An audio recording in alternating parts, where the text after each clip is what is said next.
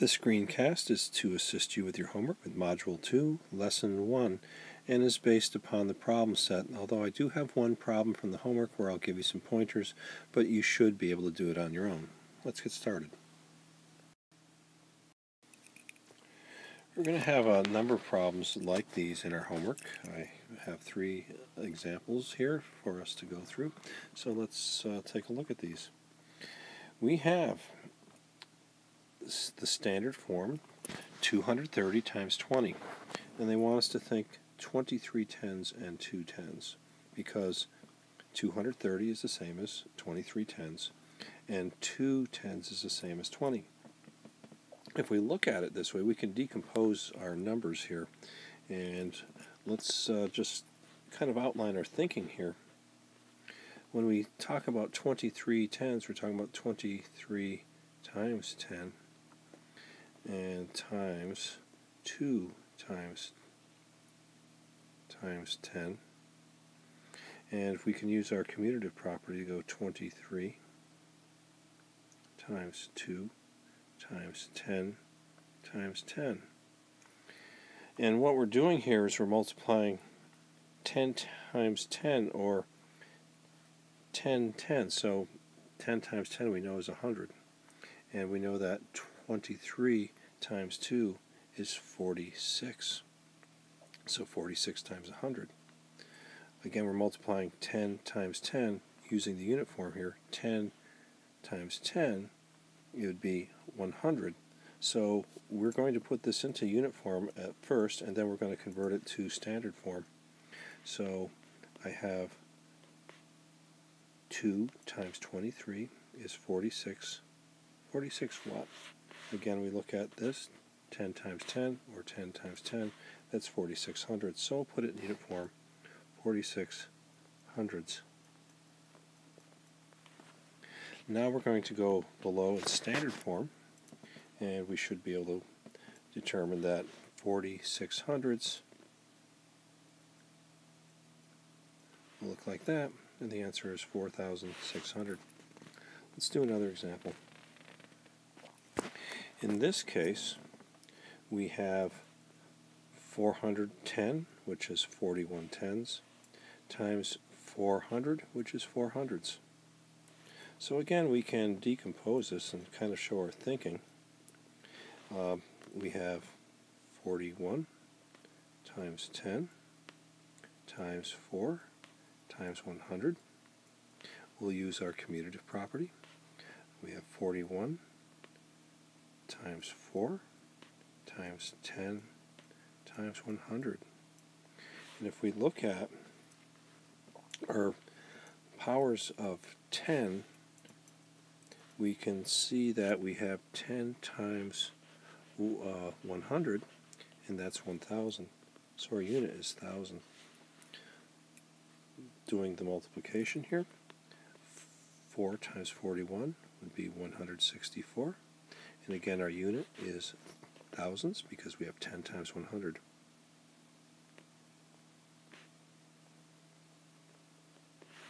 So our answer is 164 times 1,000, which is 164 thousands. Let's go on to the next example. We have less done for us here, so we have to do a little more thinking.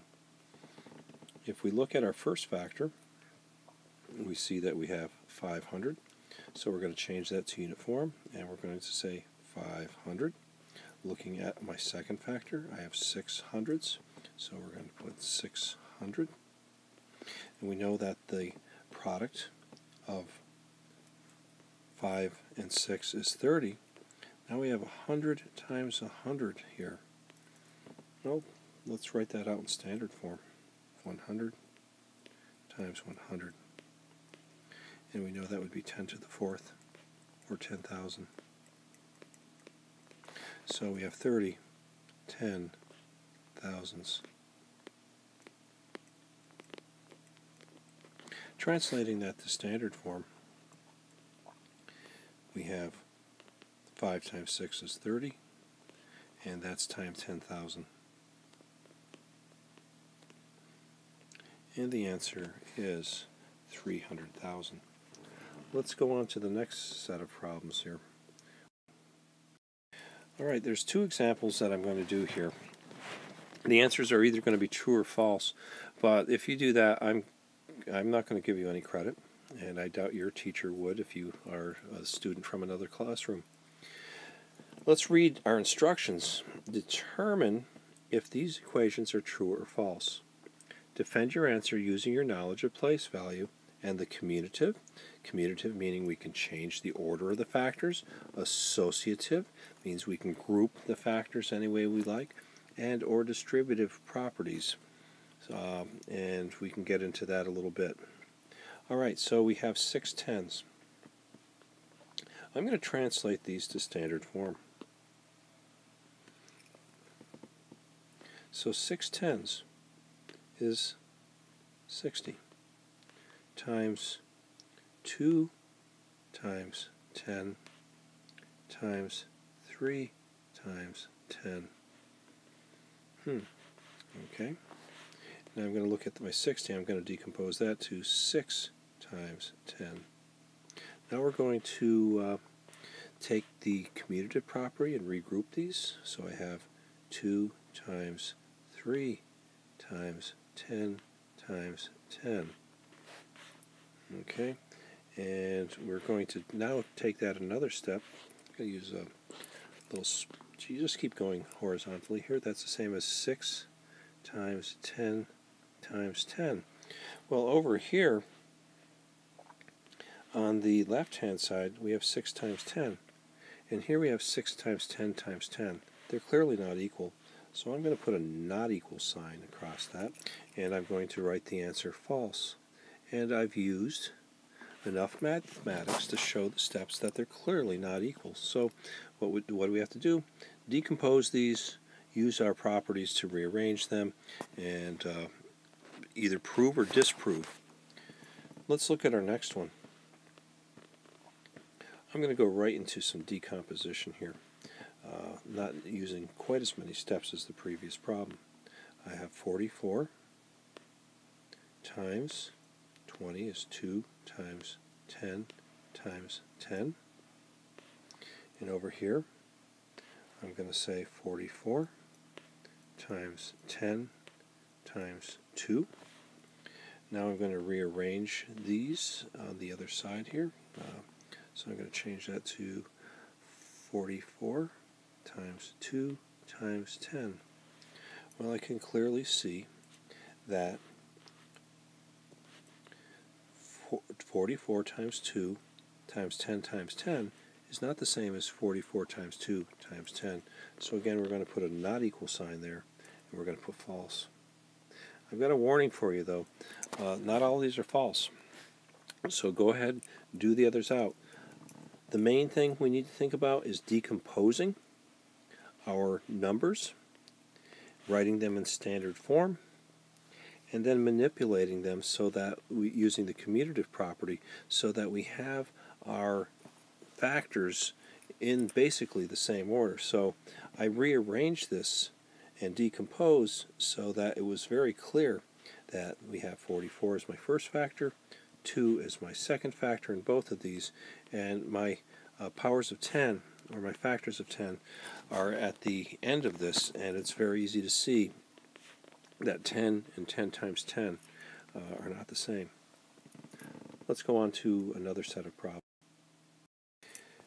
There's a series of these and they all relate uh, horizontally uh, going from one problem to another starting with a basic fact and then we uh, changed them to powers of 10 here. And the, in the examples, they give several different approaches, or at least a few different approaches. So let's start with our basic fact. We have 45 times 3. And if we solve 45 times 3, it's easy enough to figure out 45 times 30, 450 times 30, and 450 times 300. We use that basic fact and uh, we use some decomposition and some commutative properties, associative properties to make it clear. So let's go and do this step by step. Again, I expect the steps You have an example in your homework, you have this to look at, you should be able to do it. So I'm going to start with 45 times 3. Well, I'm going to find that a little easier to do going vertically. I have 3 times 5 is 15. I'm going to regroup my 1. 3 times 4 is 12, plus 1 is 13. So we're going to start with 135. Now this problem, we're going to take our 45 times 30 and change it to 45 times 3 times 10. Now we already know the answer to this part of the problem because we solved it over here. Uh, so I am going to now multiply the first two factors. I know that 45 times 3 is 135 times 10. And we know that that is equal to 1,350. Let's go on to the next one. I'm going to decompose my uh, factors once again here. Now this I have a few more steps because I have 45 times 10 times 3 times 10. Now I'm going to use my commutative property, and again, they show a couple different approaches here. As long as it's mathematically sound, I'm fine. So I have 45 times 3 times 10 times 10, and we'll again multiply the first two factors, 135, and we'll multiply the second uh, pair of factors times 100 put in those equal signs, and we get 1,000 or 13,500. Let's see if we can move this over and make a little more space for us to do this last bit of work. We'll see how this works. Sometimes it's not as expected. Yep, okay, it worked. Great. So what are we going to do this time? And again, I could use parentheses with some of these. Um, so let's do one with parentheses just to show you another uh, example. So I have the first factor is equal to 45 times 10, and I could do that, times 3 times 100.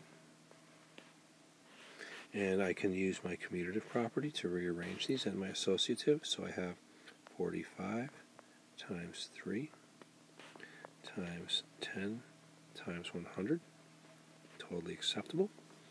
And again, we can solve the first pair of factors. 45 times 3 is 135 times 10 times 100 is 1,000. And 135 times 1,000 is 135,000.